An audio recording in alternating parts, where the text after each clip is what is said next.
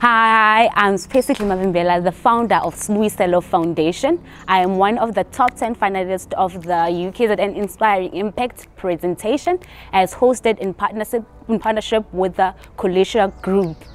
My preparation for the presentation today has been quite a journey.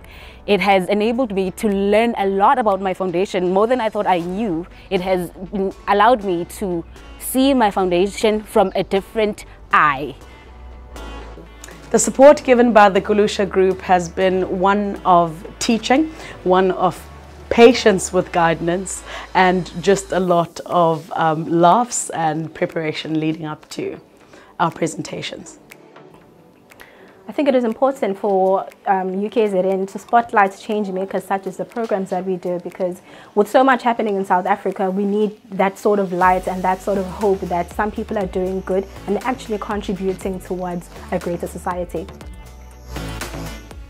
Today is a great day indeed for me as I'm given an opportunity to present uh, my work and I also uh, appreciate the recognition that the institution has because coming this far out of a group of or 100 more than 100 applications that were filed I think it's quite fulfilling. I feel so much humbled being appreciated people realizing and recognizing the work that we are doing in the community. I think it's a great thing for me.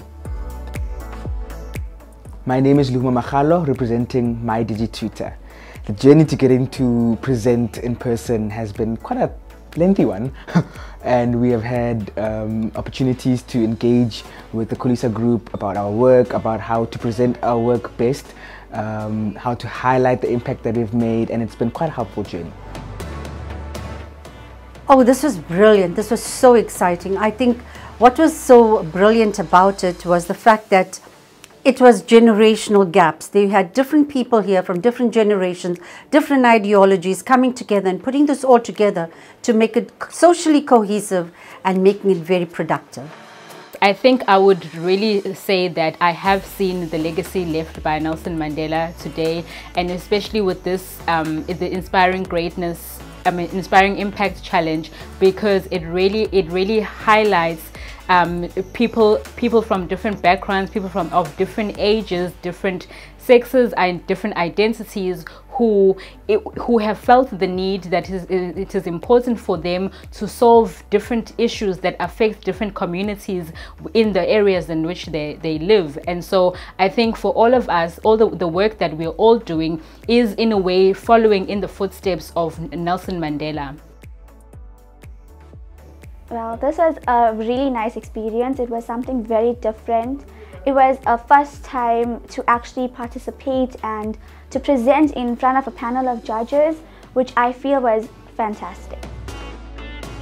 Okay, um, the preparation journey has been very interesting. It's been fun um, and we got to learn about different initiatives. We were introduced to so many projects that we did not know about and we got to see how UKZN is partaking in community development and just inspiring impacts and inspiring communities and doing their part to ensure the livelihood of community.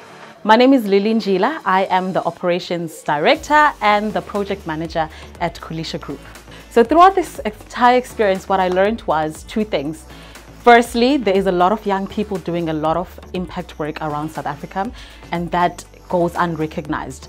Um, secondly, it was a gruesome and a tiring experience. Having to launch the campaign, having to train the students, having to develop them, having to essentially prepare them for this one big moment, which is the prize giving event that is taking place today. It's been a fun filled, crying filled, emotional filled um, journey. However, we're proud that we finally got our top 10 out of all the 120 something applicants that applied.